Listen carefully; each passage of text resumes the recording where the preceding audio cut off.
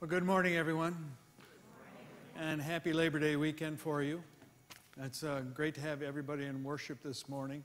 I got to imagine my brother in law who lives in Florida says September is the month that everybody leaves who lives here year round and they don't have children in, in, uh, in, uh, in schools. So uh, I got to imagine this is, a, this is the, the faithful remnant worshiping today, and that's outstanding. My name is Tom Cook. I'm the interim pastor at Siesta Key Chapel, and it's a great privilege to be here. I'll be here probably for about a year or a little more than that as the uh, congregation works through its transition to a, a, new minister. So I'm looking forward to getting to know all of you. I meet new people every Sunday. I've been here for a month now. I want to be sure to have you sign the fellowship pad. You'll find it um, in each aisle. Uh, pass that fellowship pad to uh, one another. And uh, I know that the seating is sparse today, but uh, you may not know the person uh, that's sitting in your row, and so you will, will use this opportunity to get to know him or her. So um, uh, sign that fellowship pad, and also gives us a record of your attendance. And if you're a visitor, to put you on our mailing list and to follow up with your visitation. We're really glad you're here. Uh, speaking of visitors, are, are, are there any visitors who would like to introduce themselves, or does anybody have a guest they'd like to introduce this morning? Yes, Margaret.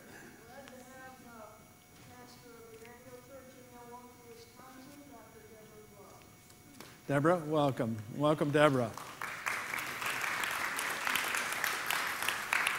And Deborah and I served together in Milwaukee Presbytery along with Margaret uh, a long time ago. And uh, it's a great pleasure to have you here. We had dinner last night. Yes.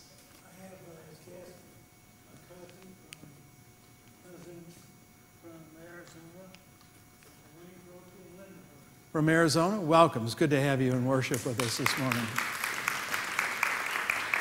But not only is it hot, but it's humid for you. okay, are there any others? Okay, and uh, sign that fellowship pad. Um, please pay attention to the announcements that are in the bulletin. Um, Bethel is not going Tuesday. Um, we're going on, not going on Monday, but we're going Tuesday. Um, I went last week. It was a great experience. And if you haven't been to Bethel to, to see those ministries, uh, it's a really uh, important ministry in the life of this church and mission in the life of this church. They depend uh, on Siesta Key Chapel in a lot of ways and uh, for our support. And it was great to see the, the good things that they do there. I think that's about it for our announcements. let's prepare our hearts and our minds for worship.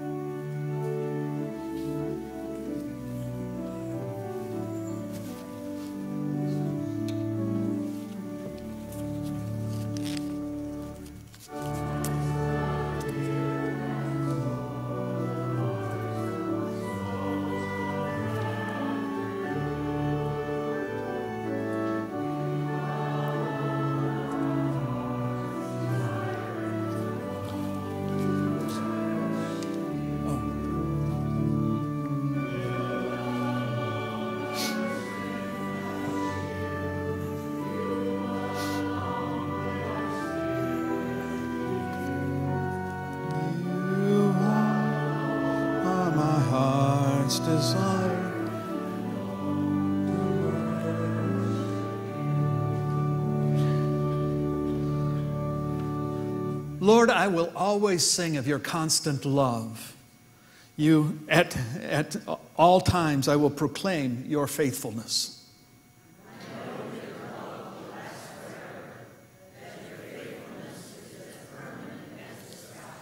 How powerful you are. How great is your strength. Your kingdom is founded in righteousness and justice, love and faithfulness are all are in all that you do.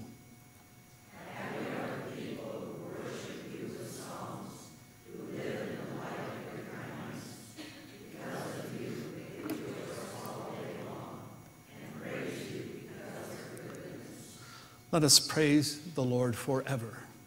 Amen. And amen. Let's pray.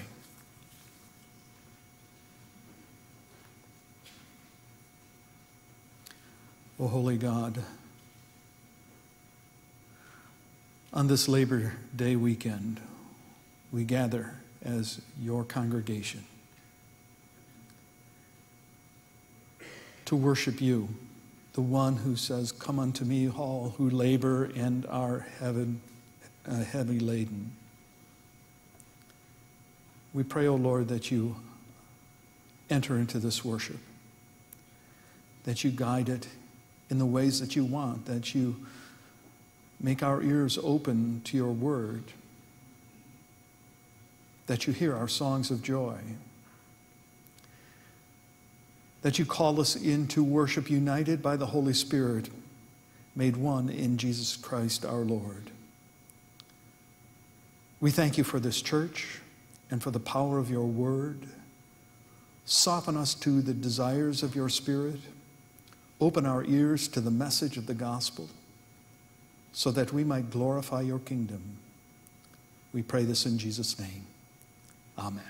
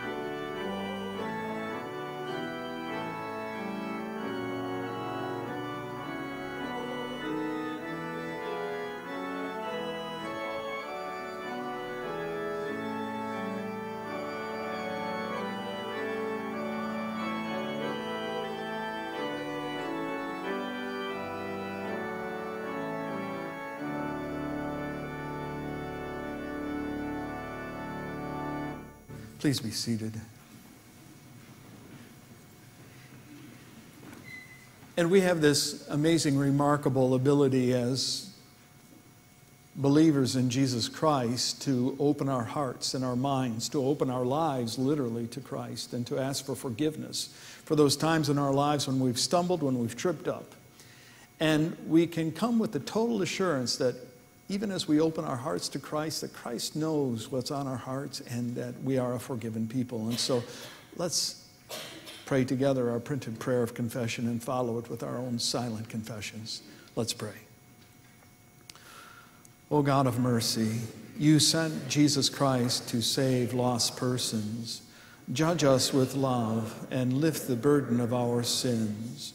We confess that we are twisted with pride we see ourselves pure when we are stained and great when we are small. We have failed to love, forgotten to be just, and have turned away from your truth. Have mercy, O God, and forgive our sin for the sake of Jesus, your Son, our Savior.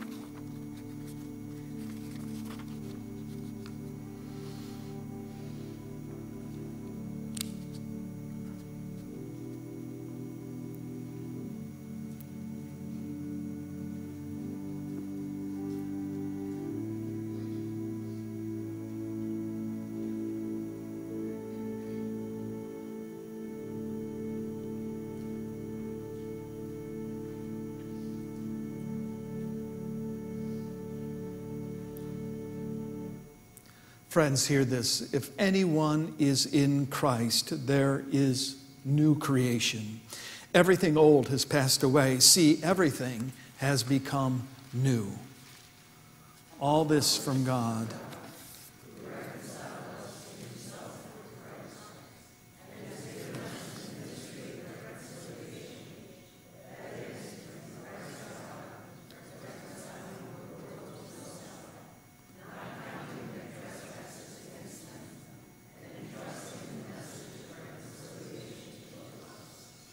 Friends in Christ, we are forgiven.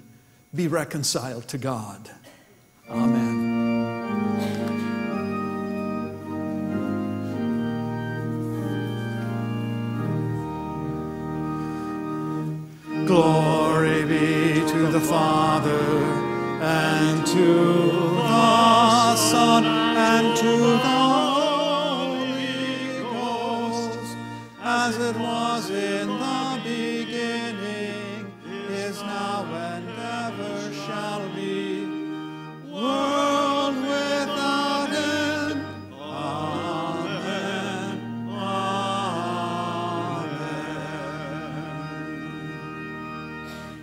And you may be seated. I'd like to invite the kids to come up, please.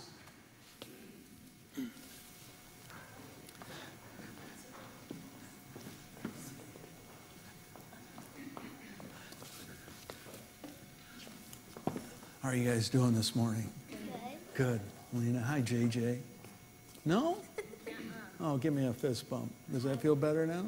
I feel that I want to go to bed again. You feel you want to go to bed again?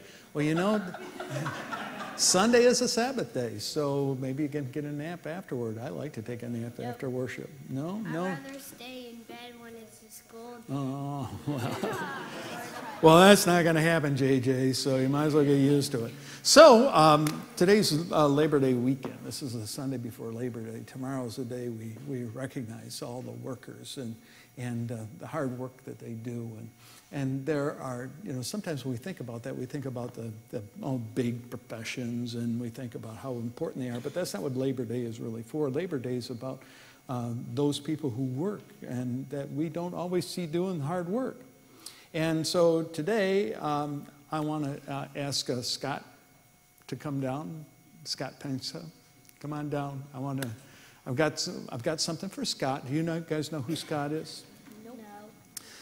Well, while he's coming down, uh, he's he's uh, he's our church custodian or sexton. But this guy does everything. It's just amazing what he does in in this church to keep things going. And uh, you can't do the kind of job that he does without um, having a love for what he does. And I can tell you that Scott loves his job. And uh, he has been working here for 10 years in this church. I think that's pretty amazing. And um, a week ago, it marked his, his 10th anniversary. And uh, uh, the, this week was also his birthday. So he had two big things going on uh, today. But on this Labor Day, I really wanted to recognize uh, the work that he does in the work. And so, Scott, um, I'm presenting you with the Golden Broom Award. Huh? No, it's Scott. It's his award. Uh, the Golden Broom Award for, for all of the hard work you do at uh, Siesta Key Chapel. I know that you are dedicated. I know that you love this church, and I know that you love the people, and I've learned that in the month that I've been here. And so let's say thanks to Scott for his great work in the life of the church. So, huh? No, you can't leave yet because you got to pray with us. So, uh, so doing, doing your work, what does Scott does when he does his work is he does it for God's purpose. And that goes for JJ, I'm sorry to say this, but going to school, you go, that's your work, and you do it for God's purpose, Megan. You go to school for God's purpose, that's your work, and it's important to do that and to do it so that you can get the award that will come from doing all of that hard work. Let's say a prayer. Let's hold hands. Dear God, Dear God, we thank you for Jesus. you for Jesus. And we thank you for all the opportunities thank you for all the opportunities to serve you to serve you in our work, in our work, and in our school, and in our school. especially for JJ's work in school. Right, JJ? JJ's work in school. Amen. Amen. Thank you. Thank you.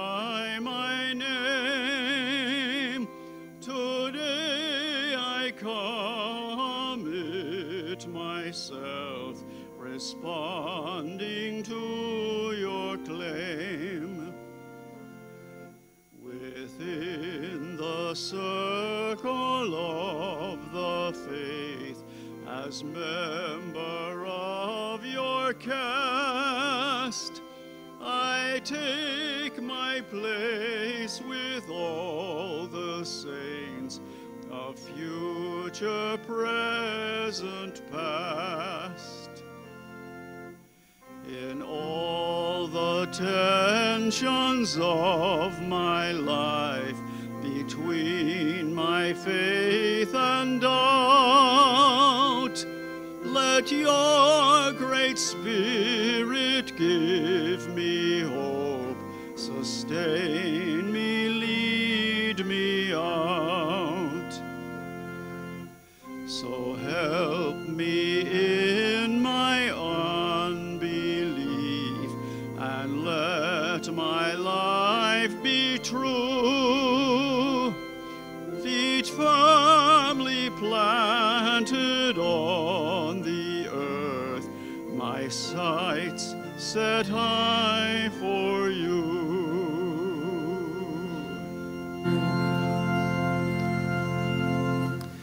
Pray with me, please. Let's pray.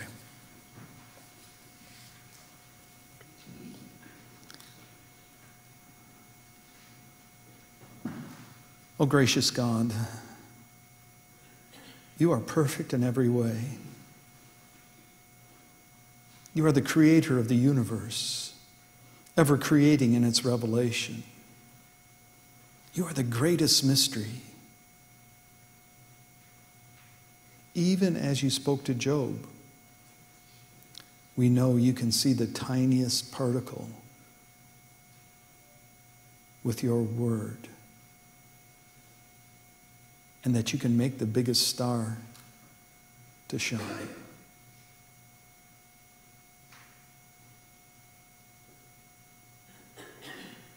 We know, O Lord, that you speak to us in this worship. Even in the vastness of this creation, you speak to each and every one of us. Even when your voice makes thunder, we know that you can speak to us with a still small voice.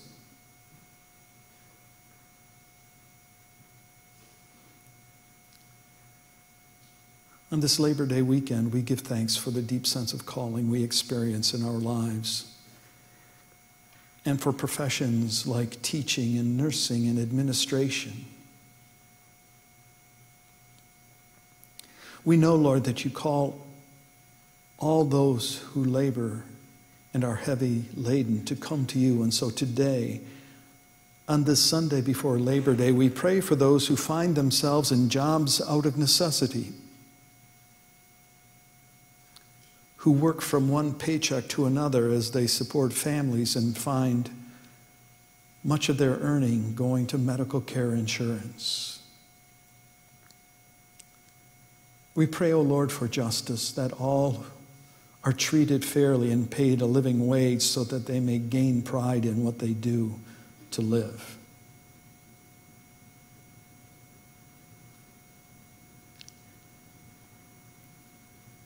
In Christ, you chose us for life, to fulfill the purpose of your law, to love God, to love neighbor, to love ourselves in the way that generates joy.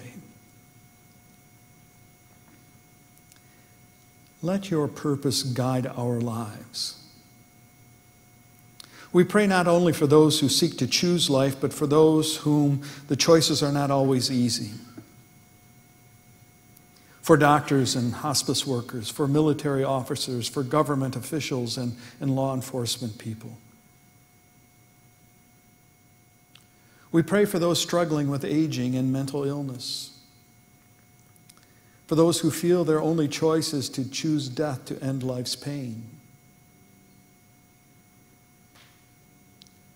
We pray for those struggling, struggling against death, those recovering from surgery, undergoing chemotherapies or radiation therapies who feel as though they must die to live. We pray for victims of gun violence and for our culture that finds entertainment in the kind of violence mimicked in senseless deaths in cities like Chicago and states like Florida.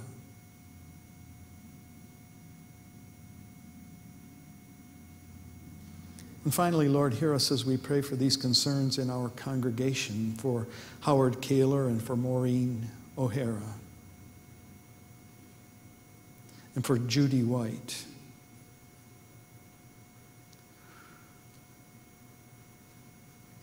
And Lord, we lift up our nation as it honored a leader named John McCain. And we pray for the kind of integrity in our nation's leadership that he exemplified. Lord, we know you not only listen to our prayers, but astonishingly, you actively participate in them. We know you are always open to this conversation and you want to be part of it. We know that no prayers go unanswered. And so that's how we pray this prayer. We pray that you listen to us now as we pray the prayer that Jesus taught us to pray, saying, Our Father, who art in heaven, hallowed be thy name. Thy kingdom come, thy will be done on earth as it is in heaven. Give us this day our daily bread, and forgive us our debts as we forgive our debtors. And lead us not into temptation, but deliver us from evil. For thine is the kingdom, and the power, and the glory forever. Amen. Let us now present to God our gifts and our offerings and the commitment of our very selves.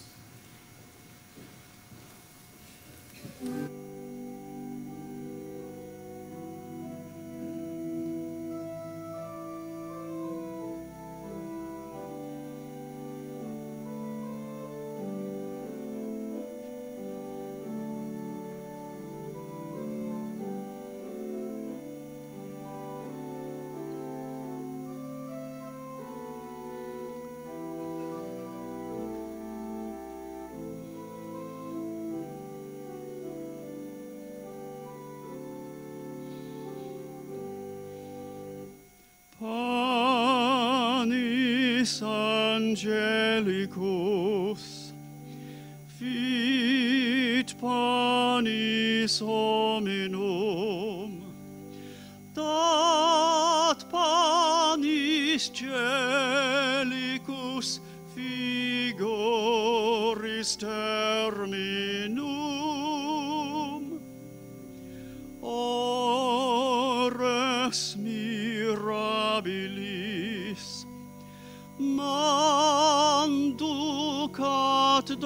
caminho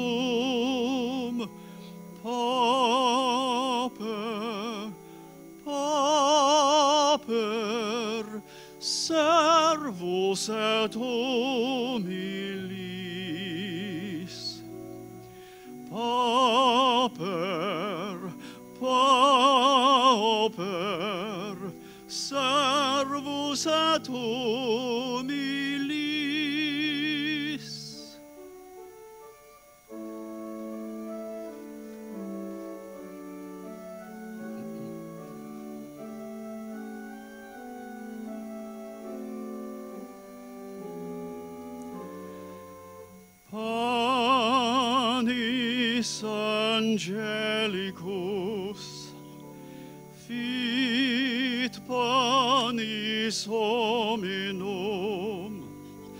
Dat panis celicus figoris terminum. Ores mirabilis manducat dominum.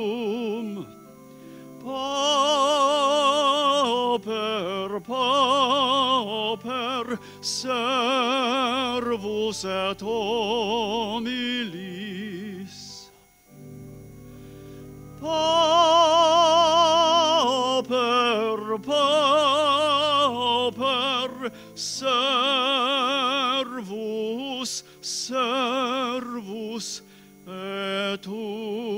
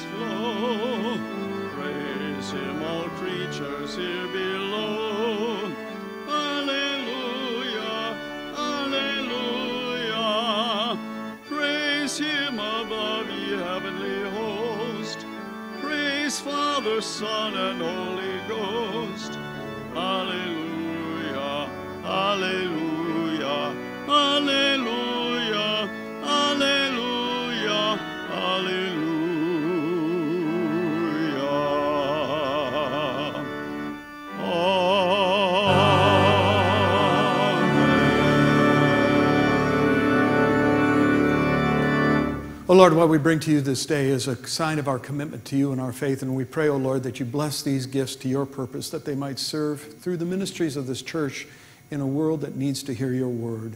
Allow it to be an opportunity for us to change lives with the gospel of Jesus Christ. And we pray it in Jesus' name. Amen.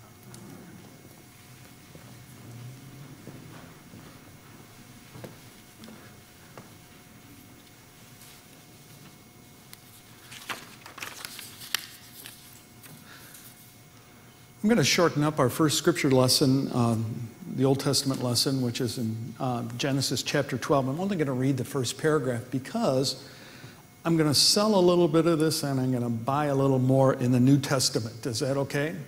And uh, so we'll, we'll just go with this first paragraph in this lesson.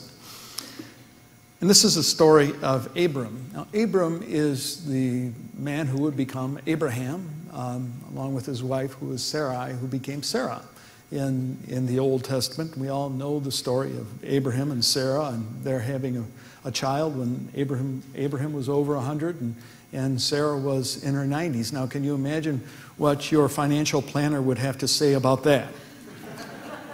if that would happen. Um, so, uh, this is God's word as it comes to us from the Old Testament. Now, the Lord said to Abram, Go from your country and your kindred and your father's house to the land that I will show you. And I will make of you a great nation, and I will bless you and make your name great, so that you will be a blessing. I will bless those who bless you, and the one who curses you I will curse and in you all the families of the earth shall be blessed. That ends this morning's first lesson.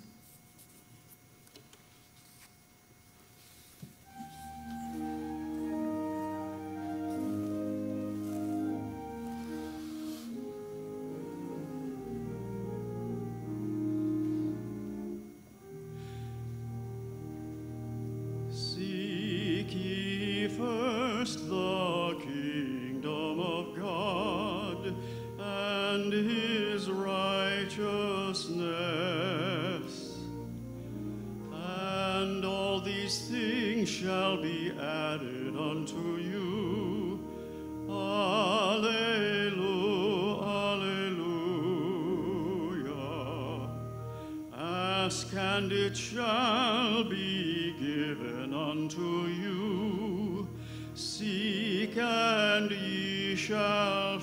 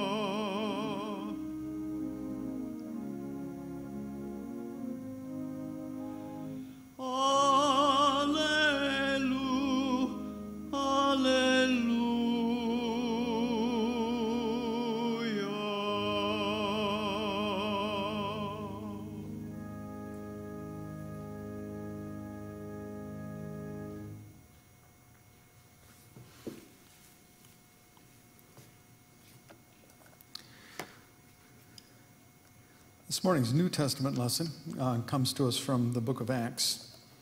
And I'm reading from chapter 3.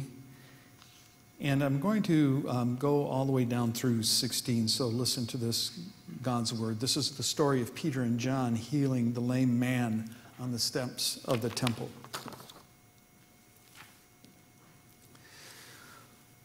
One day, Peter and John were going up to the temple at the hour of prayer at three o'clock in the afternoon. A man, and a man lame from birth, has, was being carried in, and people would lay him daily at the gate of the temple called the Beautiful Gate so that he could ask for alms from those entering the temple. And when he saw Peter and John about to go into the temple, he asked them for alms. Peter looked intently at him, as did John, and said, Look at us. And he fixed his attention on them, expecting to receive something from them. But Peter said, I have no silver or gold, but what I have I give you in the name of Jesus Christ of Nazareth. Stand up and walk. And he took him by the right hand and he raised him up, and immediately his feet and ankles were made strong. Jumping up, he stood and began to walk, and he entered the temple with them, walking and leaping and praising God. And all the people saw him walking and praising God, and they recognized him as the one who used to sit and ask for alms at the beautiful gate of the temple, and they were filled with wonder.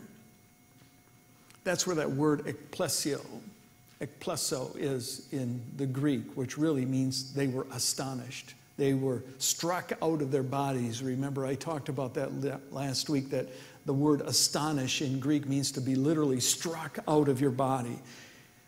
They were astonished and ama- uh, filled with wonder and amazement at what had happened to him. And while he clung to Peter and John, all the people ran together to them in the portico called Solomon's portico, utterly astonished. And when Peter saw it, he addressed the people You Israelites, why do you wonder at this, or why do you stare at us as though by our own power of piety or piety that we made him walk? The God of Abraham and the God of Isaac and the God of Jacob and the God of our ancestors, has glorified his servant Jesus, whom you handed over and rejected in the presence of Pilate, though he had decided to release him. But you rejected the holy and righteous one and asked to have a murderer given to you, and you killed the author of life, whom God raised from the dead. To this, we are witnesses. And by faith in his name, his name itself has made this man strong, whom you see and know. And the faith that is through Jesus has given him this perfect health in the presence of all of you. Well, this is the word of the Lord. Let's pray just for a few moments.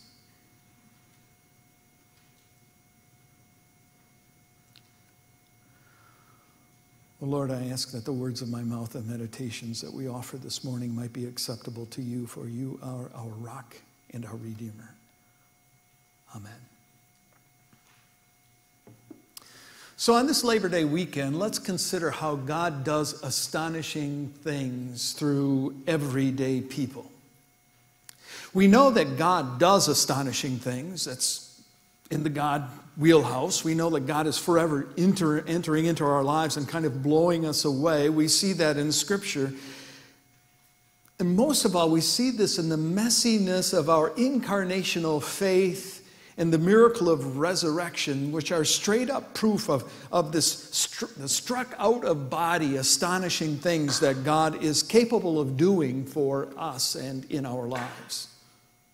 They are the foundation for our belief, teaching us that, that resurrected life can be, can be lived right now it's a gift that empowers us to do anything in God's name for God's purpose, assured that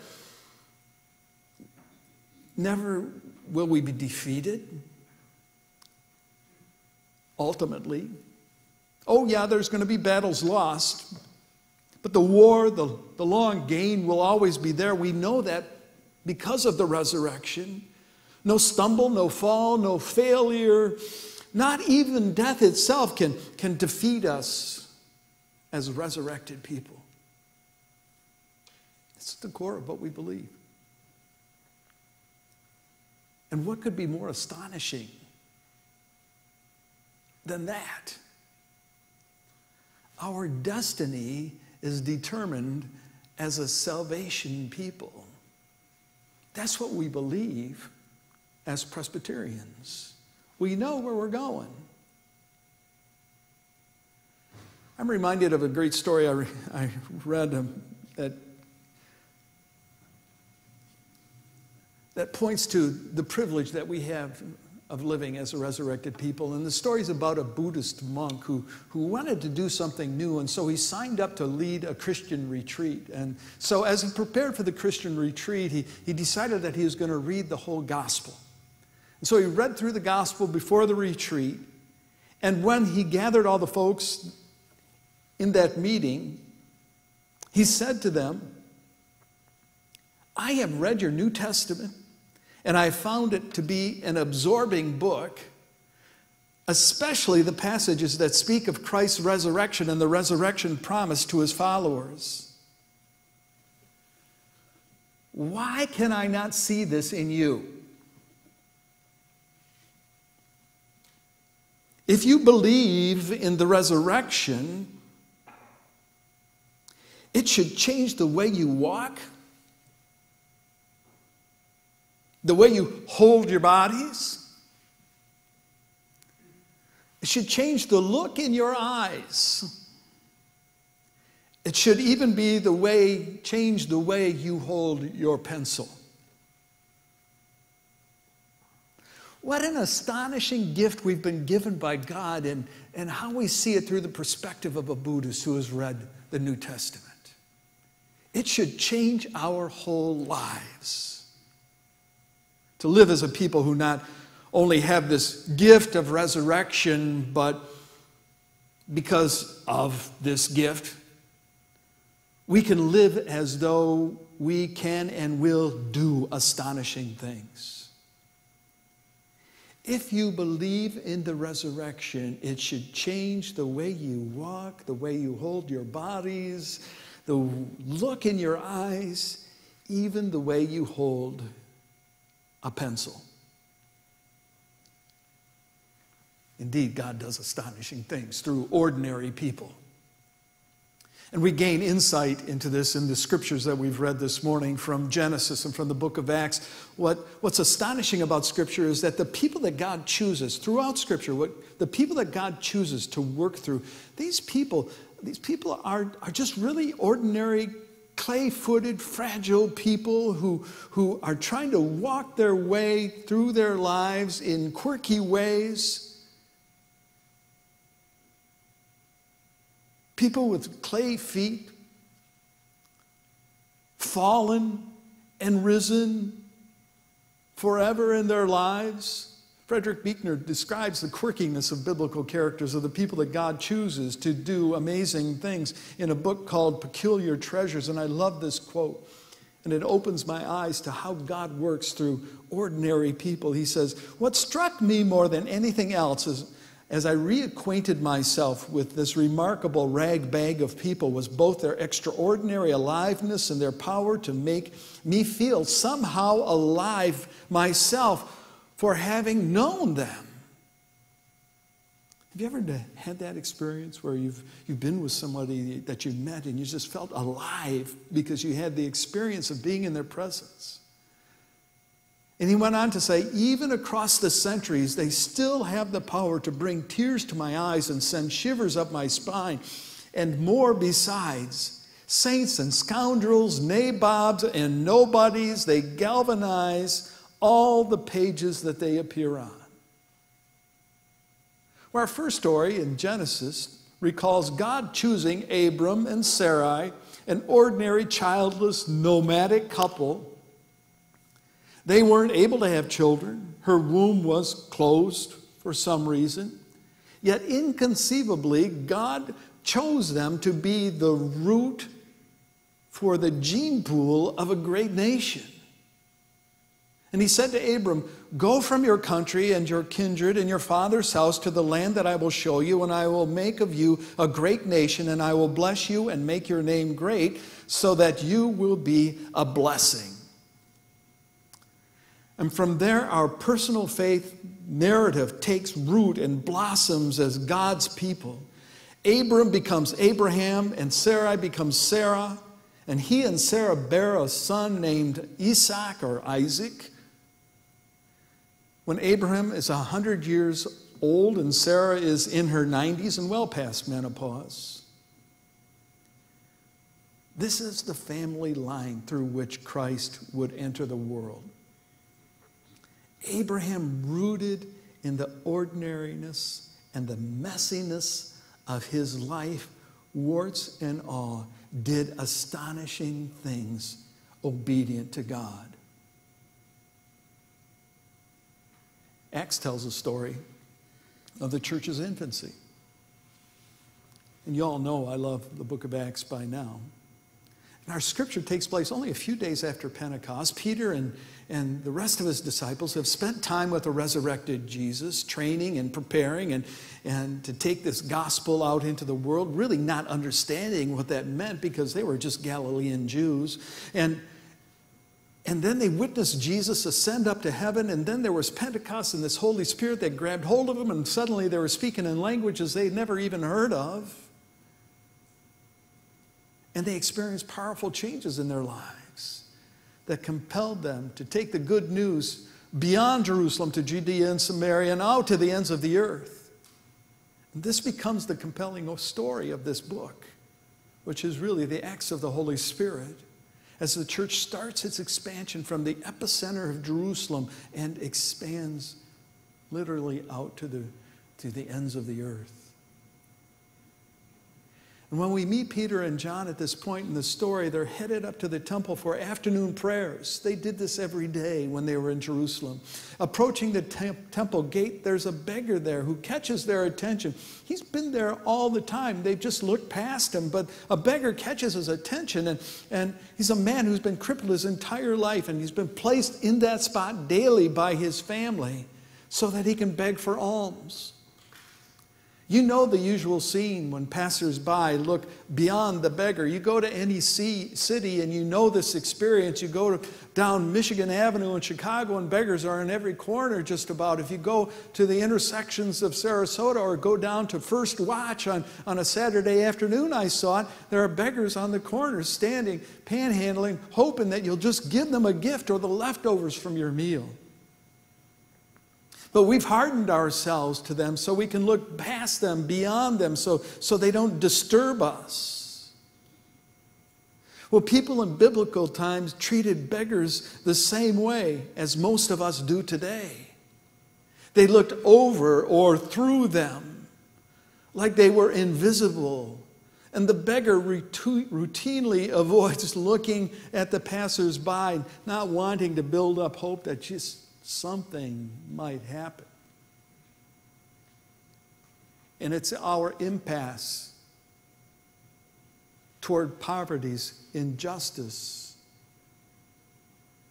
And our behavior helps harden us and to ignore poverty and the disparity of our economics right in the midst of us. The lame man calls out to Peter and John. They call him to look at them eye to eye. Look at me. And heart to heart. And he's not prepared for this attention. All he wants is a couple of coins. He's embarrassed. But then he looked at them. Peter says, I don't have a nickel to my name. But what I have, I give you. In the name of Jesus Christ of Nazareth, walk. And I can hear the voices in the beggar's head saying, Yeah, sure, buddy, and then let's all stop the sun from setting. Just give me a couple of coins. That's all I'll, I want. And Peter grabbed him by the hand and he pulled him up, him, grabbed him by the right hand and pulled him up and his feet and his ankles, they straightened up and they were made strong in that moment. And I'm guessing the beggar must have had what I, I knew when I was a kid growing up as, as club feet. And then the man took to walking like a duck takes to water. And in fact, he began dancing and he began leaping and praising God like he was a winner on the world of dance. The story says the people were utterly astonished. Out of their body experience, out of body experiences, by seeing what was happening. These ordinary Galilean fishermen had done this incredible thing on the temple steps. Without hesitation, Peter claims this as a teaching moment and he evangelizes. People of Israel, why does this surprise you? Why do you stare at us as if by our own power or godliness we made this man walk. It was done in the name of Jesus to glorify God. Peter's miracle made real God's ability to do astonishing things through two ordinary fishermen from Galilee and a lame beggar. The people were stirred. In fact, the story says many who heard Peter and John believed. And this annoyed the temple rulers who heard about it. And later they arrested Peter and John and the healed man and they called them on the carpet. And the three stood before the temple leaders who two months before had orchestrated Jesus' execution. And we forget about how all this time is compressed in that. It was only two months or less since they had crucified Jesus. And so they're called on the carpet before these people who had orchestrated Jesus' resurrection. And they said, By what power have you done this? By what power have you done this healing? Peter says, By the name of Jesus Christ of Nazareth, whom you crucified whom God raised from the dead. And the leaders were astonished. They were dumbstruck. They didn't know what to do with him. These articulate men were ordinary, unschooled Galilean fishermen who spoke in an uneducated dialect, and yet they noted they were the followers of Jesus of Nazareth, and the leaders of the first church status quo were in a conundrum. This Jesus person wouldn't go away. Even after nailing him to the cross and burying him, he continued to gnaw at their power to hold on to their people. In the name of Jesus, by the power of the Holy Spirit, ordinary people can do astonishing things. What a profound message that is for us at Siesta Key Chapel. Yet, really, it's the same message that Jesus proclaimed throughout his, God, his life. All things are possible through God. Remember, as heirs to the astonishing miracle of resurrection, we are heirs to the power of God to do astonishing things. Oh, sure, there'll be times when we fail. Sure, there will be opportunities lost. Sure, there will be times when our planning just wasn't good enough to make something work. But God continues to call us to do astonishing things by faith.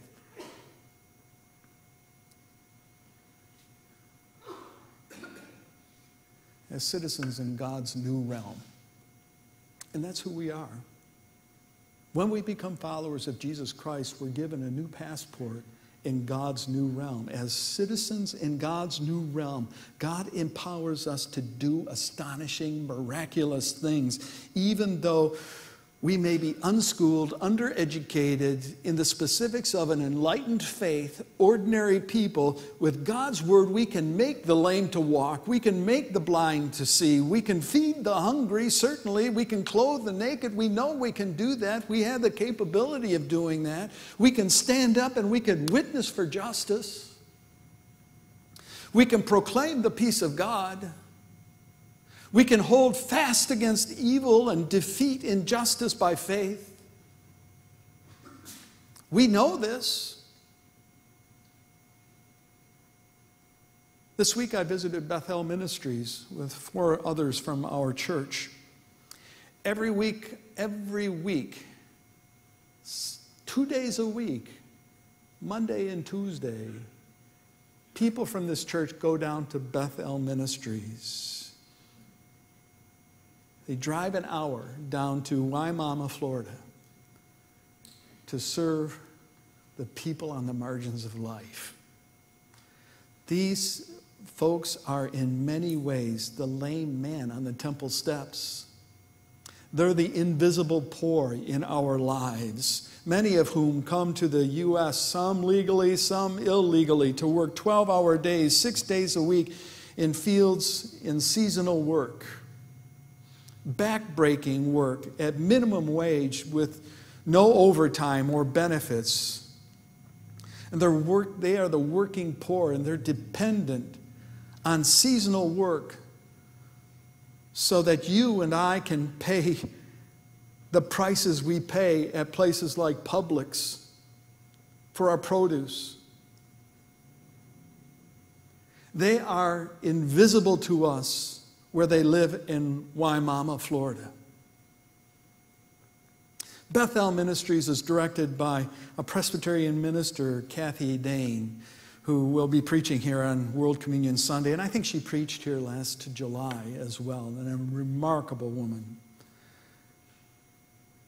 Bethel and all of its workers and all of its volunteers are ordinary people. They really are, just ordinary people doing astonishing things for people in need. On Tuesday, we packed and distributed around 500 bags of groceries, one bag per family. And the count was down, they think, because there had been a car accident in front of the entrance of Bethel Ministries, and the police were there, and that would keep many of the workers away because of their immigration status.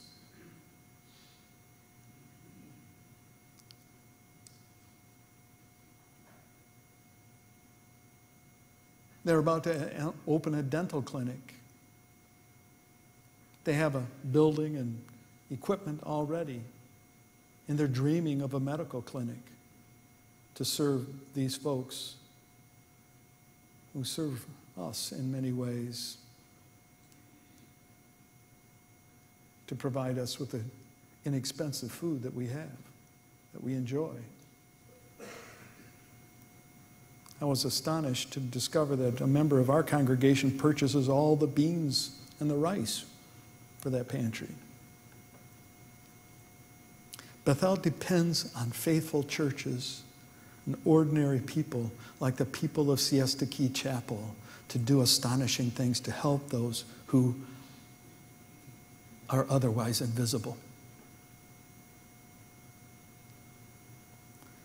Bethel, offers just a taste of the astonishing things I think that this congregation does. This is a congregation that loves its mission. I know that. I learned that when I interviewed here. And its members together and as individuals are able to provide folks with a, just a glimpse, just a peek at least of, of the incarnational resurrection power of Jesus Christ of Nazareth. There's so much more we can do, and so much more that needs to be done.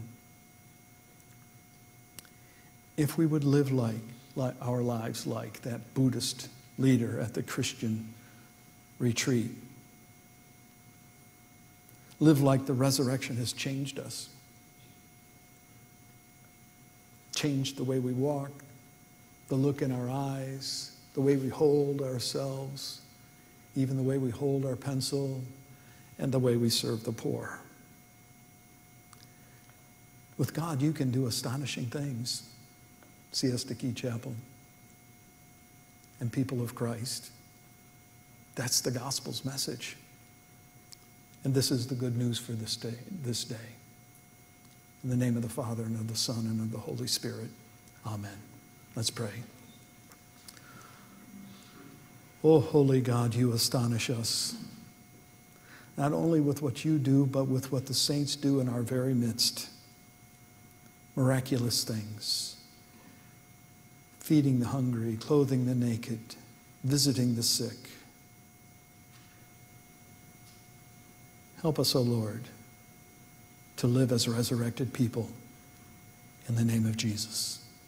Amen.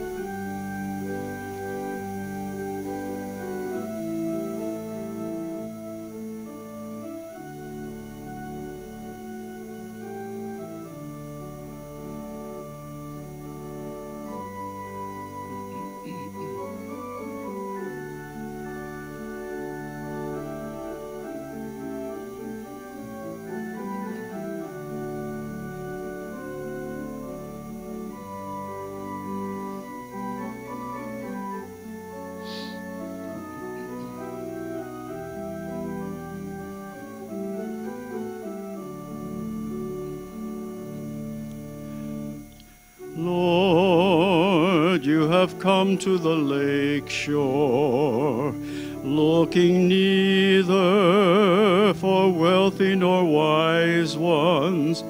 You only asked me to follow humbly.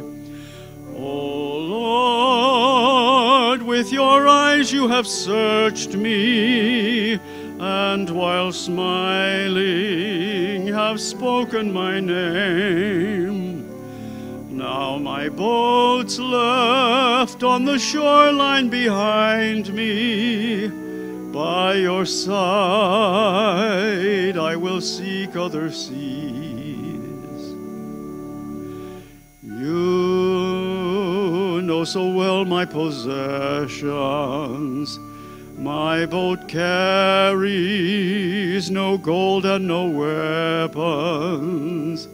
You will find there my nets and labor. O Lord, with your eyes you have searched me, and while smiling have spoken my name. Now my boat's left on the shoreline behind me. By your side I will seek other seas. You need my hands full of caring through my labors to give others rest constant love that keeps on loving. Oh Lord, with your eyes you have searched me and while smiling have spoken my name. Now my boat's left on the shoreline behind me. By your side I will seek other seas. You who have fished other oceans ever longed for by souls who are waiting. My loving friend, as thus you call me. With your eyes you have searched me, and while smiling have spoken my name. Now my boat's left on the shoreline behind me. By your side I will seek other seas.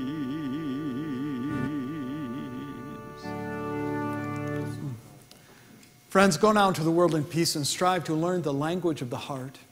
And may the grace of our Lord Jesus Christ, the love of God, the fellowship of the Holy Spirit be yours this day and forevermore. Amen.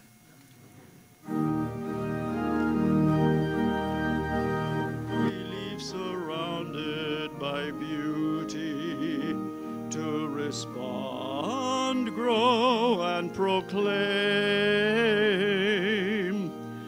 We serve and love one another in Christ our Savior's name.